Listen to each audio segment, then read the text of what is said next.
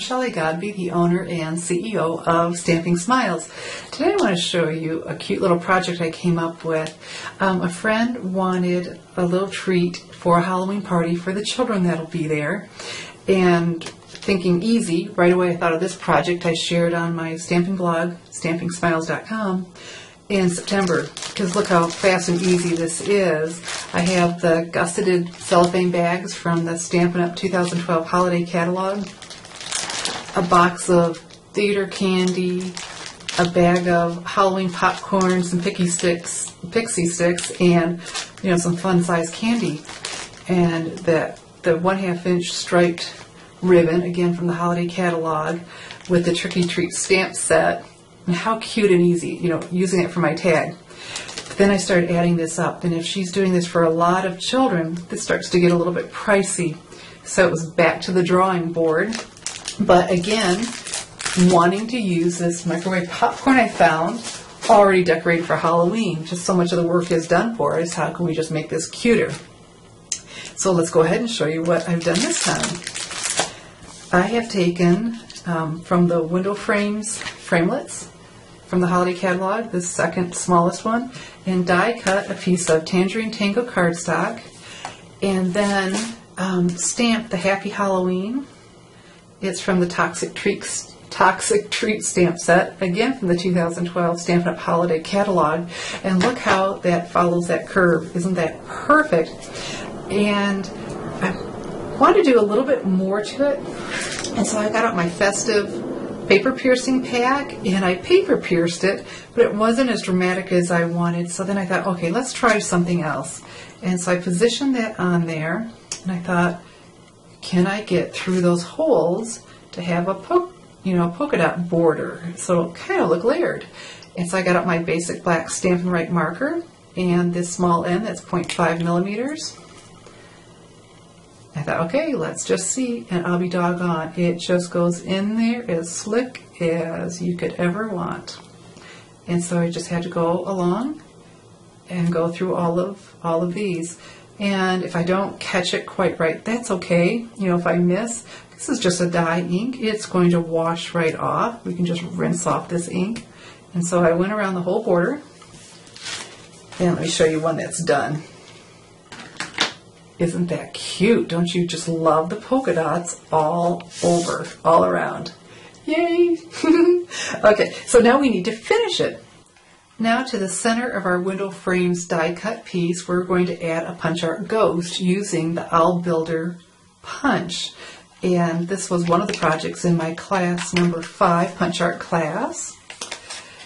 And we just need the owl in white, and I didn't catch all of his feet because I knew I didn't need them.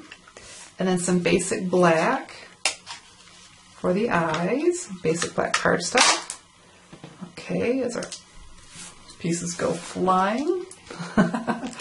and then his vest, we just need part of it. We don't need the whole thing. And there we go. Okay, let's get the extra pieces we don't need out of our way. And his feet. So we'll start with trimming off what part of the feet are left because this is the top of our ghost's head. Okay. Won't this be so cute for little children? And so we'll put some snail adhesive right along the bottom. I'll put this on here so you can see what I'm doing. Black against black, not the easiest thing to see. And here are his little feet. How cute is this? And so then the eyes. If you have trouble getting just a little bit of snail on something small like that, go ahead and use the two-way glue or a glue stick been doing this quite a while and I just prefer to use my snail. Usually don't have much trouble with that at all. Okay, how cute. So let's go ahead and put him on. More snail adhesive. Perfect. Now, of course, we need some googlies. These are the self-adhesive googly eyes from the Stampin' Up! 2012 holiday catalog. I know you can buy googly eyes anywhere, but can you get them anywhere with adhesive on them? I just love that I don't have to fool around with some liquid glue on the back of something that's hard to hang on to. And there we have it. How cute is that? And those eyes just completely make it.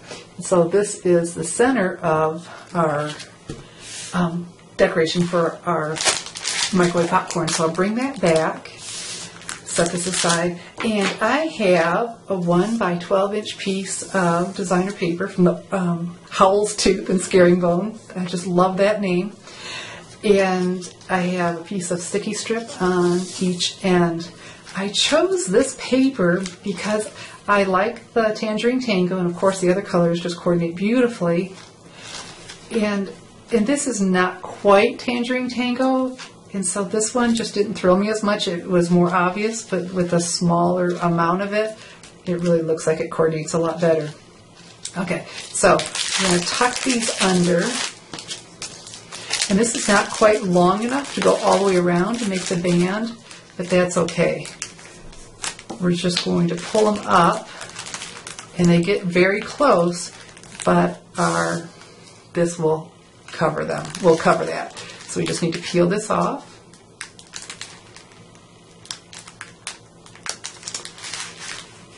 Okay. Sometimes, there we go. Sometimes that stuff is just stubborn. But I find out if I press down really well, it helps lift it a lot easier. So we've got this one. And we'll go ahead and peel this one off. And I didn't feel the need to go ahead and put score lines on this because it's paper and it folds around, it's molding oh so beautifully. And so this will finish our wrap right here. And we have a cute little project. It won't be expensive to give away, not ridiculously long to make it all, and it just bring a little bit of delight and something other than candy for the kids. and so I think she's going to really like these. And so, as I mentioned, I have punch art classes, and I have eight of them in all.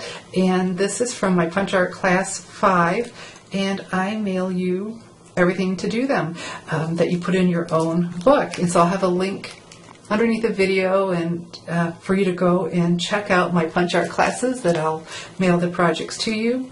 And just loads of fun. We love punch art and, and just so cute and not a scary project for the kids. It's so, I hope you'll check those out. Okay, um, I hope you enjoyed my Halloween project. You can go to my stamping blog to see some of the other ones I've done too, stampingsmiles.com. I'm Shelly Godby, teaching you how to create hand stamped smiles. Thanks for watching.